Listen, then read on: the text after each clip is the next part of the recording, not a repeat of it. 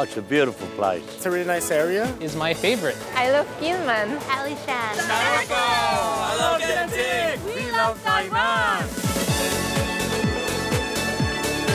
Today, I want to take you to the Dongshan River in Yilan.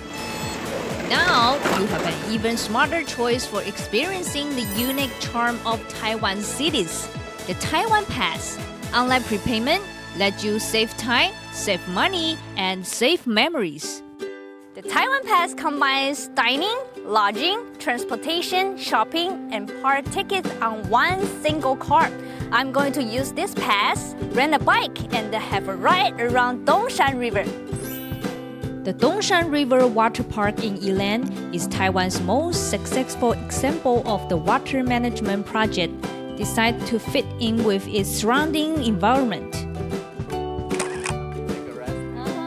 It's the first time here, Dongshan River. Yeah, it's our first time at Dongshan River. It's a lovely open space. Uh, seems like a good place to uh, have a bike ride and even a picnic too. Yeah, there are places like this where I'm from in the UK. I had no idea that Taiwan had similar. Really? If you want to get even closer to the river, you can take a water bus. One ticket on water bus costs NT $75, which is around two and a half US dollars. The water buses at the park are powered by solar panels. The motors run quiet and don't give off pollution. It only takes a few minutes to get to our destination, the National Center for Traditional Arts. And those who want to take pictures will definitely want to keep their cameras handy.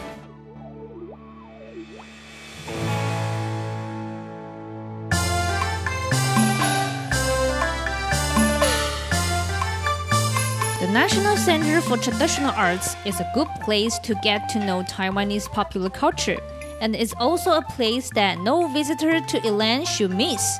The museum across 24 hectares of grounds. Those who want to take their time can decide to spend a bit more time here. Some of Taiwan best known art streets have been recreated here as if they were back in their prime. The streets have even been used as scenery in some movies. Coming here, it feels like you have stepped back in time.